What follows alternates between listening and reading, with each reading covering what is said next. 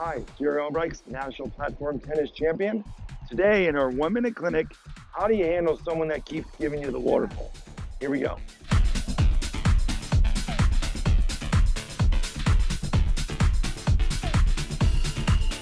So you hear a lot about the word the waterfall. waterfall is an overhead that bounces high and dies pretty much in the corner.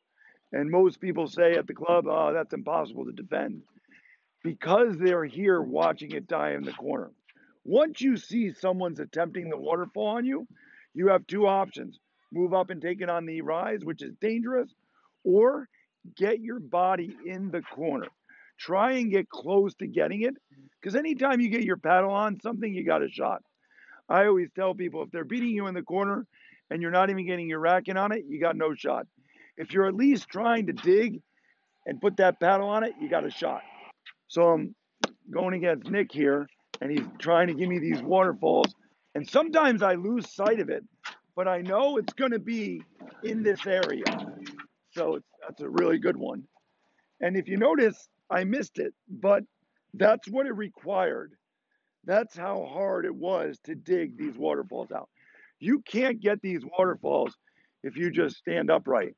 When they're really good, you're going to have to really work on trying to defend it. Ooh, that was a tough one.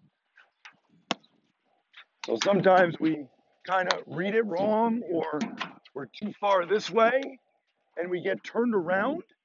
That's a bad thing because now you're doing the waterfall this way. So when you have to defend it, you also got to decide. You got to make last second adjustments. Sometimes I'm going to take it before. Sometimes I'm going to let it get in that corner. But you don't have options when you're here and watching it die into the corner. Now you're like, oh, what do I do there?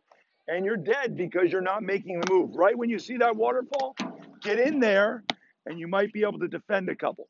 Get your body in that corner and you might be able to defend it. Get in.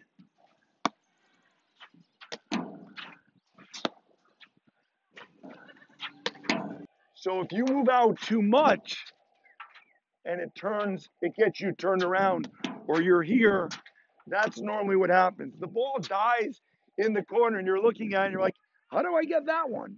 And it's usually because you're not backing up. You're still here, they're waterfalling it behind you, and you're trying to scoop it back over your head, and they continue to punish you with it. I really try to get into the corner as much as possible. So I'm always trying to get my body behind the shot. That's why I use this back screen, even on that one. And if he does it right, it's really good because he also makes me do a high backhand, which is a very difficult shot to control.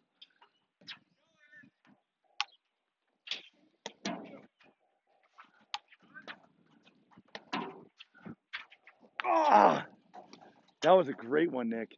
And I was thinking on that one, I should have got it before it hit. Oh, you got it.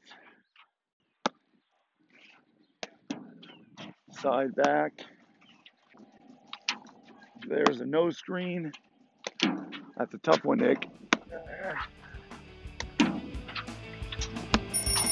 Time's up.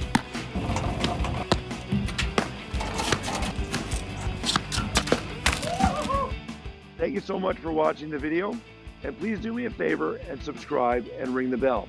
And my promise to you before I go is if you watch all these one minute clinics, you too can become a national champion. Well, maybe.